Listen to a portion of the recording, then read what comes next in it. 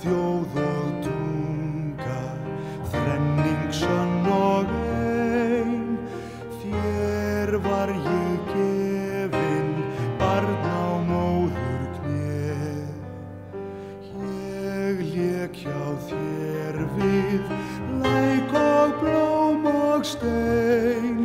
Þú leitir mér í orðstíð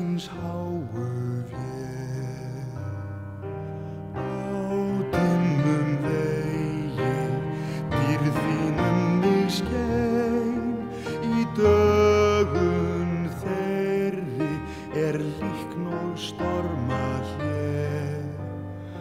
Og sókn og vaka, eining hörð og hrein, þú heimtar trúnað, spyr hver emd mín sé. Þú átt mig ég er aðeins til í fjarlagast undin, nálgast grimm og köld.